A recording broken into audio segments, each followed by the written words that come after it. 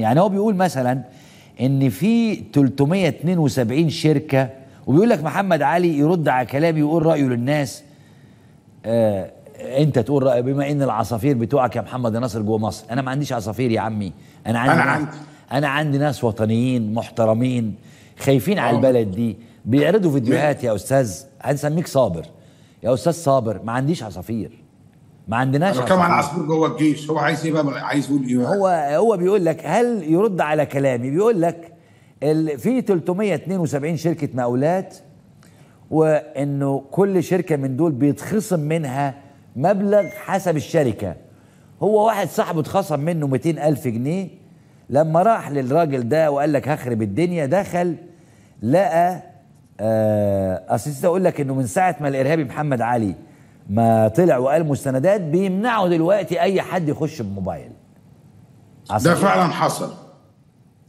من ساعة ما أنا اتكلمت وده حصل. وكمان في مقاولين كبار اتمنعت إن هي تسافر إلا لما تاخد إذن من الأمن الحربي. كان زمان الأمن الحربي ده للسادة الضباط لما يجي ضابط يسافر مستحيل يسافر إلا لما ياخد موافقة من الأمن الحربي. حتى لو طلع عمره أبو حج مستحيل.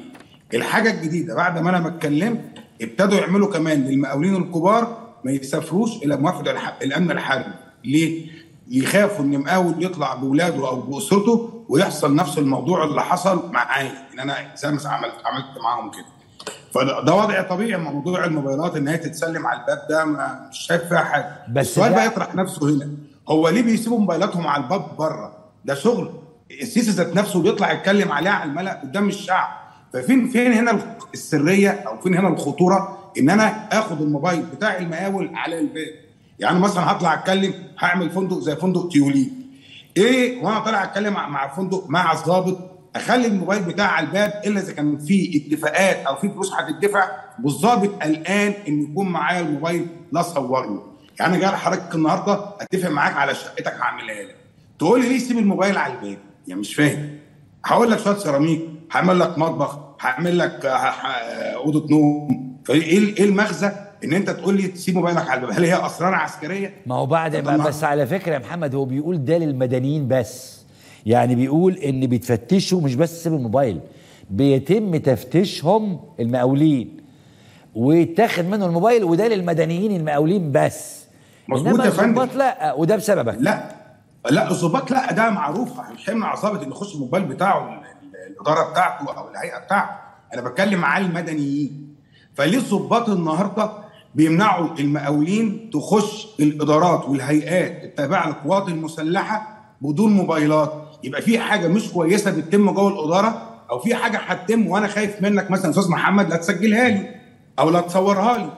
لأن أنت النهارده داخل تعمل عندي مشروع زي فندق فندق زي هتعمل لي فندق زي تريامف إيه المشكلة؟ أنا بكلمك في خرسانات، بكلمك في عمالة، بكلمك في شغل خلصت أو ما خلصتش، ليه أنا خايف من الموبايل بتاعك؟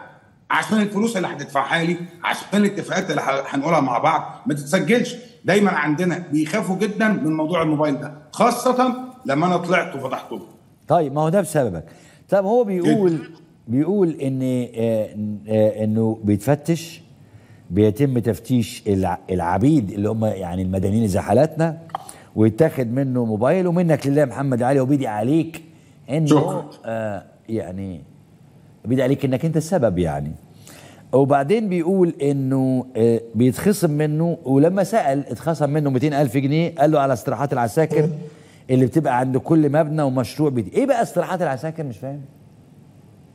استراحات العساكر؟ آه. استراحات العساكر. المكان اللي بيناموا لا فيه العساكر. يعني هو بيقول كل مبنى أو يعني استراحات العساكر دي فين؟ معمولة فين؟ يعني في كل مبنى جنبه استراحة عساكر؟ لو طبع طبع الجيش يبقى كل مبنى جنبيه استراحة عساكر. لازم يعني فندق تريمف لازم يبقى طالما تابع القوات المسلحة لازم يكون فيه آه، استراحة عساكر. هقول لحضرتك على حاجة. مثلا دار زي دار حرس الحدود. أنت النهارده عندك دار. دار دي يعني فيها أفراح فيها حمام سباحة وفيها كافتريات فيها مطاعم. زي ما إحنا عارفين دار حرس الحدود دار الحرس الدفاع الجوي دار الهيئة الهندسية. طيب انت عندك النهارده عساكر مجندة بتجيبها من كلية سياحة وفنادق وبتجيبها من الدبلومات. هنايمهم فين عشان يشتغلوا؟ ففي ناس منهم بيبقوا ممكن من الأقاليم من محافظات بعيد مثلا عن القاهرة. هناخد مثلا على مثال مثلا القاهرة. فبضطر أعمل لهم ميز عشان يباتوا في الأماكن دي يباتوا زيهم زي العسكري المجند فهمت السؤال؟ لكن أنا بس سؤالي معماريا شكلها إيه الاستراحات دي يعني؟ لا عادي بتبقى هو داخل الفندق داخل الدار عادية جدا يعني اوض اوض بره اوض بره زي السجن. زي السجن بالظبط. أنا مش قصدي هي زي السجن سراير أكنك في الجيش. سريرين فوق بعض ويبقى الأوضة مثلا. اتفضل. طب وهل دي تاخد 200 ألف جنيه من مقاول واحد بس و16 مليون من مقاول تاني؟ لا مش على ميس عساكر ب 16 مليون أنا ما هو أعرفش ده ميس ما هو يا أستاذ محمد هو هو بيقول إيه؟ هم بياخدوا فلوس هم بياخدوا طبعا. دي مش دي ما فيهاش كلام. يعني لا نقاش. حتى أنا شخصيا ما أنا قلت أنا ده ده سبب من أسباب نجاحي إن أنا كنت بعمل إيه مع الجيش. صعب جدا يا أستاذ محمد إنك تخترق مؤسسة زي الجيش وتقبض ضابط جوه الجيش. يعني أنا النهارده لو داخل على كمين النهارده وفي ضابط قوات مسلحة وقال لي يا محمد يا علي دلوقتي عايز أفتش قال لي مثلا إيه بعد إذنك فتش العربية؟ فتش العربية هو العساكر. هل أنا اجرؤ أو مطلع له النهارده آه، قرشين واقول له خد دول خليهم معاك. ده مستحيل. دايما الك... الكيان الجيش عند المصريين بالموروث معروف إن هو حاجة محترمة جدا. والأفلام والمسلسلات والأغاني والاحتفالات بتاعت 6 أكتوبر بنت هيكل للظابط إن هو سقف عالي جدا. فأنت مستحيل تقدر إنك يعني أنت مش هتصدق إنك تدفع للظابط فلوس. فبقى في حيرة ما بين الظابط والمدني في عملية ال business عشان أقعد معاك النهارده إيه بقى الحيلة؟ إيه بقى الحيلة؟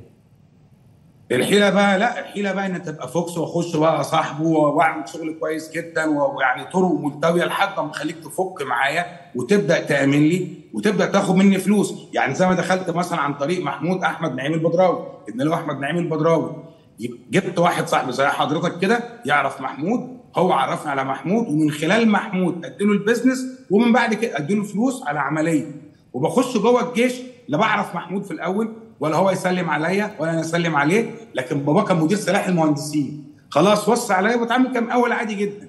قعدت كده مثلا بتاع سنة سنتين. بعد كده صحبت الظباط بعد كده الظباط أمنتني. خلاص ده بقى ات- اتعرف بقى إن أنا اللي هو أحمد أعلن إن محمود شريكي عملنا الشركة ودخل معايا فيها شريك. كان هو شريك موس وأنا شريك متضامن عشان الشركة بتاعتي.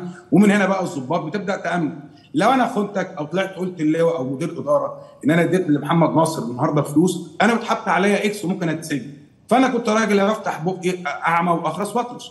فطبيعي جدا لكن عملية إن الظباط بتاخد فلوس طب ما هو الجيش كله بياخد فلوس. اللي هم في الأماكن الحساسة أو بيعملوا معانا بيزنس لازم ياخد فلوس. أمال هيشغلني إزاي؟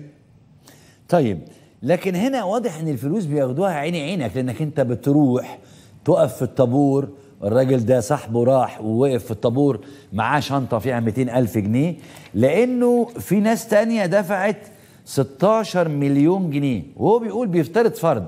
لو قلنا إن في 10 10 شركات بس هتدفع 16 مليون جنيه يعني 160 مليون جنيه. وباقي ال 372 شركة يعني قول حوالي مليار جنيه. مليار جنيه عشان استراحات العساكر يا أستاذ محمد. ممكن آه في في التكلفة دي دلوقتي وسعر الخرسانات وسعر الحديد اللي فوق الخيال العلمي. إحنا 2018 ارتفاع أسعار الحديد وبعد التعويم ده كان بالنسبة لنا كارثة نووية كارثة لكل شركات المقاولات. و90% من شركات لا المقاولات. معلش لا معلش معلش آسف المقاطعة يعني. وحضرتك بتصلح إزاي يعني؟ يعني أنت عايز تقنعني إن استراحة زي السجن لو إحنا هنعمل 15 20 استراحة تتكلف مليار جنيه؟ هو مش لازم يا أستاذ محمد ناخد الرقم إن هو بيتم بالفعل. هو إحنا بنسرق إزاي؟ أو كنا بنسرق إزاي؟ رايح حضرتك أنت النهارده ظابط أنا هديك فلوس منين؟ هديك من ارباحي زي ما هو قال كده في جملة أنا سمعتها. إحنا حفرنا 2 متر. خلوهم أربعة. لو أنت خدتهم في طول مثلا النهارده 30 كيلو 20 كيلو. أحاسبك على شوف بقى يبقى أنا كده حفرت الضابط. مفيش حاجة اسمها أنا بدفع من جيبي. الضابط بيديني أكسس أعرف نسرق بيها. هنيجي نقول مثلا فندق زي تريامف. فندق زي الماسا الماسا ده مثلا كان فندق كفندق فيه كام مثلا 30 ألف متر سيراميك.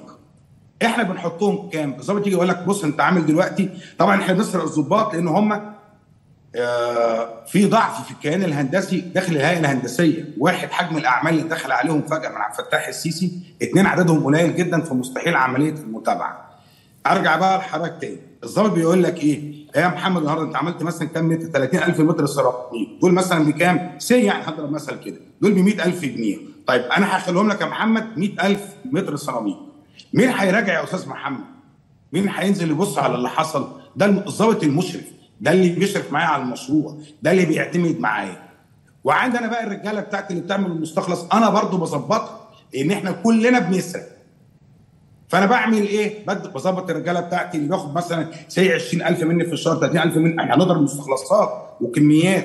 بعد ما اتفق مع الضابط أجيب بقى مدير مدير المشروع بتاعي واقول له معاك محمد بيه نصر اهو وشوف هو عايز إيه. فيقول لك إيه؟ خلينا بقى ال 30000 متر السيراميك دول 100000 عملنا كام متر دهانات؟ عملنا مثلا 2000 متر دهانات. لا خلوهم لي 6000 متر.